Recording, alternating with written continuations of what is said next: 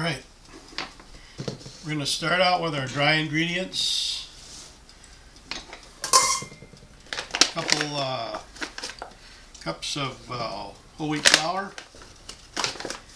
You don't have to accurately measure or sift. A uh, cup of old-fashioned oats.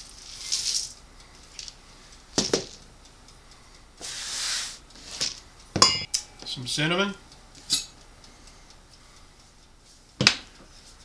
Mix her up. Now we'll mix up our wet ingredients. Put about a cup of honey in.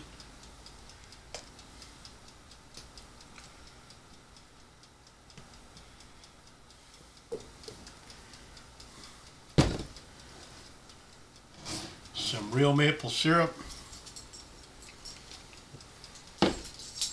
Vanilla.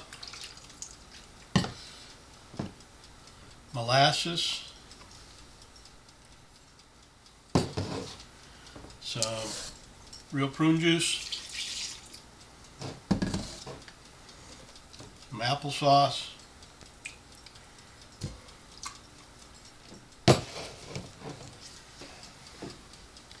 A banana, ripe banana. And we'll put in a little crushed pineapple and juice.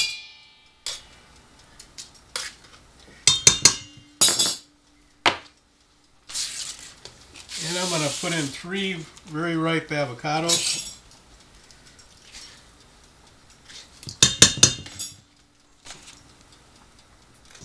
Alrighty. And I, I'm going to use a little hand mixer on these guys.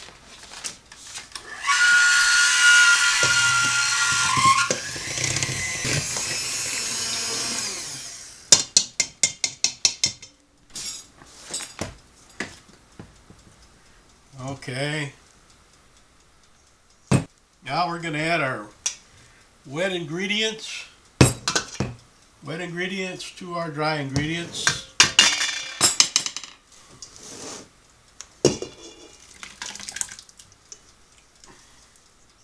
Okay.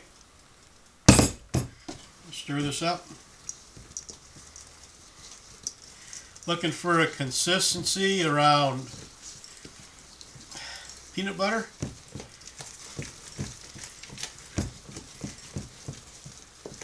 When you mix the two together, if you don't have peanut butter consistency, then it just adjusts. You can put in more dry ingredients or more wet ingredients.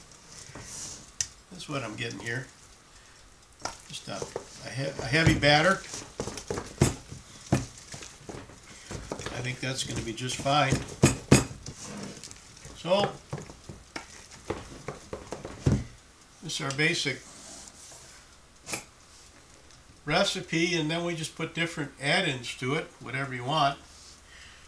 I like putting in a, some shredded shredded carrot all the time, so I got one hand shredded carrot there. I'm going to put in some sunflower seeds.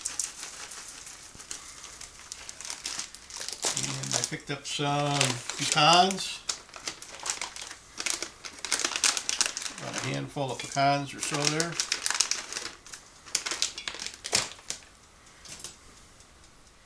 And some really nice dried cherries.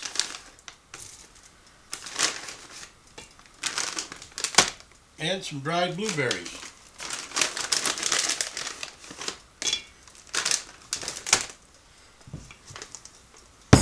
Mix this all in. Makes a really nice breakfast bar. There's the one loaf, most of the loaves, I call them loaves because that's what they are. They're more like bricks. They weigh, about every one I've made is over four pounds. And they yield 16 really nice uh, half inch slices of about three ounces or so a piece.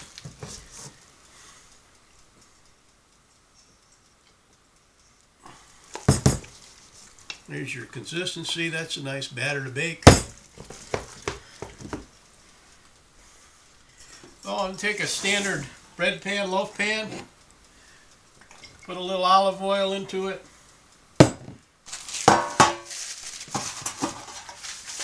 Coat the sides, bottom and the sides nicely.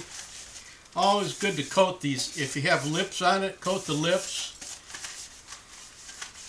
That way nothing sticks too bad and you can depan your your loaf pretty easily.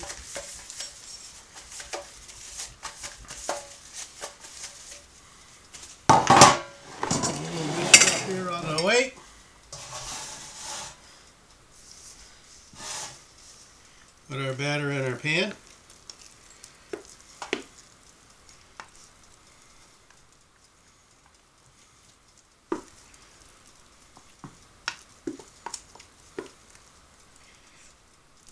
Only if you use two cups of whole wheat flour and one cup of oats, it nearly always comes out just to fill one bread pan nicely.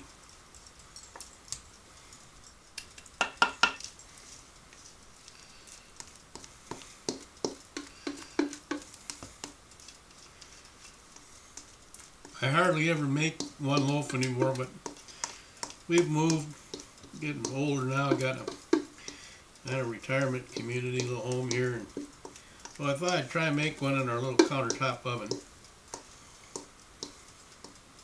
Had to give me 16 regular servings. But since most ovens hold eight of these bread pans, I really like making eight at a time. Just not that much more work and uh, freezing them. They freeze solid like a brick. They won't take up much room in your freezer. When I want one, I just pull it out, put it down in the fridge to thaw a little bit. I like keeping them in the fridge. They last longer. Uh, most of I've never had one that wouldn't last at least a month. Stay nice and fresh. Slice it off when when you want some and Need another one? Pull it out of the freezer. That way you only have to make them a few times a year. There you go. I'm going to put her in the oven behind me here.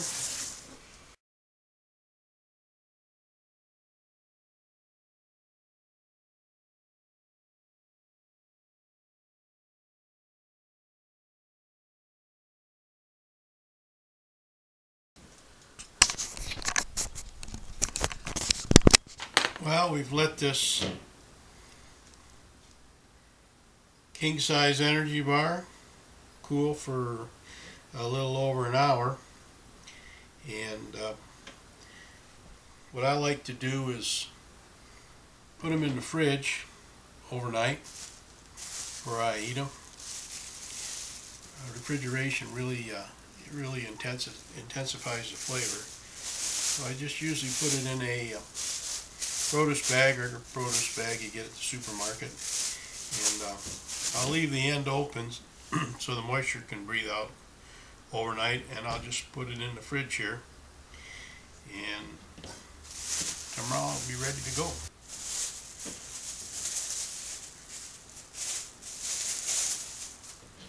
Like I said, it got a little hard on top, a little burnt. First time I used a little oven. Probably would have would have helped for sure. Just put a piece of tin foil over the top. So, smells good. You can see uh, some of the dried fruits in here. These things are heavy. Like I say, usually around four pounds. This one might be a little less. We'll see what we got going here on the scale.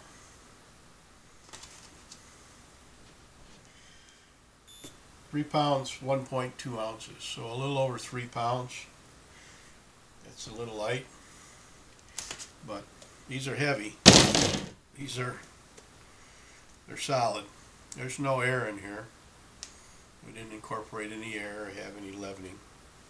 Just one king size energy bar, family size, easy to make you can get about 16 half inch slices off of one of these king-size family loaves.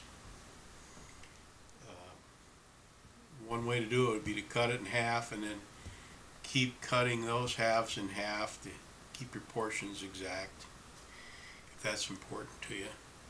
Usually your end pieces are a little crustier. I like using a serrated knife to cut these.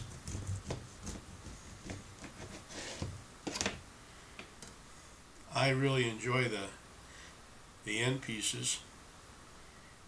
You can see the dried fruits, the carrots in there.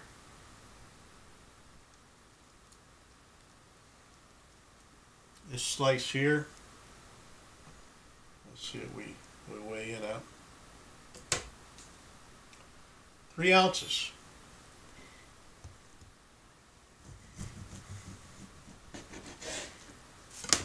Might be just a little heavier on that guy, we'll see. No, 2.8 ounces. Nice firm 2.8 ounces here. Again, I like keeping these in the refrigerator. Um, the honey acts as a natural humectant, so the shelf life in the refrigerator is quite a while. And uh, generally, they're they're gone even if there's only a one or two person household before a month. Very easy to make, king size, family size energy bars. The number of recipes is limitless. There's so many different add-ins you can make. Make what you want. We're all different. We all have different likes and dislikes, needs. So the idea behind this is to start with your whole wheat oat base.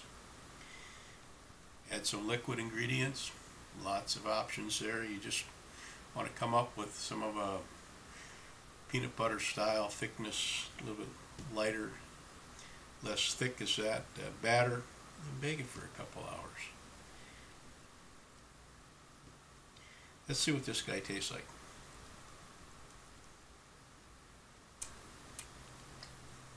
Excellent. Mm. You taste those dried cherries, blueberries. Mm.